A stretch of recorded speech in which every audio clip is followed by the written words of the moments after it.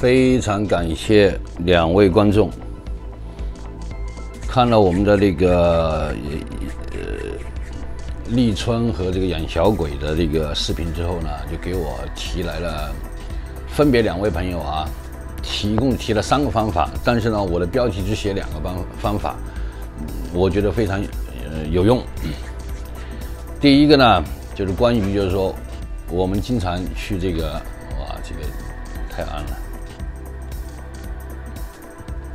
关于我们这个经常去赌场的玩家，那么呢，事实上我们多多少少呢，我们的能量受到了伤害，甚至我们有可能被小鬼缠上。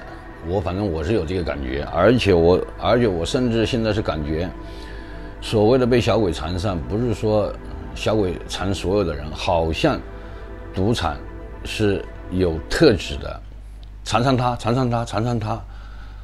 我我真有这个感觉，你 大家可以去看一些人的呃那个那个那个面色都可以看得出来。那么呢，赌场到底有没有呢？不知道。我心里面认定他有，好，那起码这是一个我的心理作用，对不对？没关系。那么我们现在如果要跟赌场去对抗的话，我个人认为，凭我们个人的能力、法力。甚至我们的知识面等等，我们根本就不是他的对手。如果我们跟他对攻的话，我们根本就不是他的对手，对吧？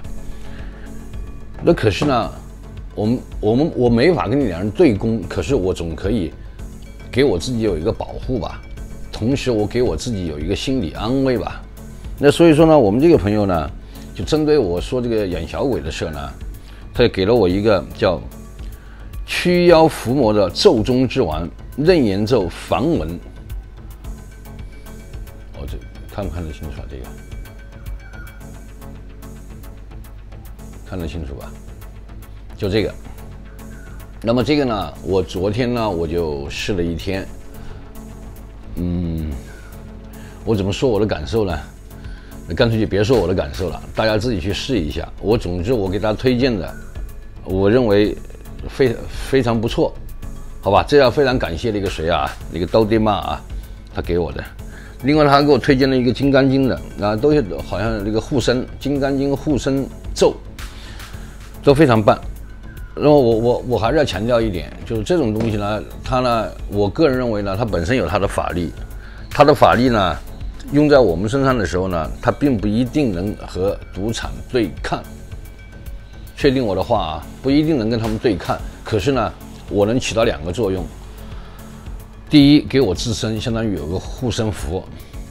那么这个护身呢，对他特别强调了，就是说，不仅自己平时从赌场回来听，而且以后进赌场之前呢，就把它打开循环播放，循环播放，把声音关掉，就声音啊，就是不是给它打得很响，留一点点声音也可以，放在包里面，就让它在里面放。你进赌场，那么呢？他第一给我有一个屏障保护自己，第二给我有一个心理安慰，好吧？这是第一个方案。那么在这个立春的时候呢，大家可以去做一做。反正这几天也不去赌场，先先给大家，大家自己先给自己做一个防护。那第二个的话呢，就是说，另外一个朋友，呃，他给我的建议就是说，这个让我不要去跑步。哎呦，让让我干嘛呢？让我去艾灸和打坐。我说为什么要要呃艾灸和打坐？我知道，因为这两样事情我都干了以前。包括打坐的话呢，就说基本上也一直呃啊，就是来新加坡就莫名其妙的就就就就就就就不想打坐。那那我我那我今天晚上这个叫什么立春的这个时时时间到了之前，我一定按照他的说法去打坐。艾灸呢，它确确实实呢，就等于说是给我们通过穴位呢，让让我们的经络打通，呃，人就经络通了嘛，那人就顺畅了，顺畅了，人的能量就就好了嘛。而我说为什么不能去跑步呢？他说跑步是耗能量的，啊，这个我就明白了，好吧？那我现在呢，今天呢，就是说呢，呃，抢在这个立春马上就要快到了，还有十来个小时吧，还不到十个小时了，我就赶紧给大家做这么一个视频，就告诉大家有这么三种方法啊。这个播放这个楞严咒、楞严经，而且是梵文的。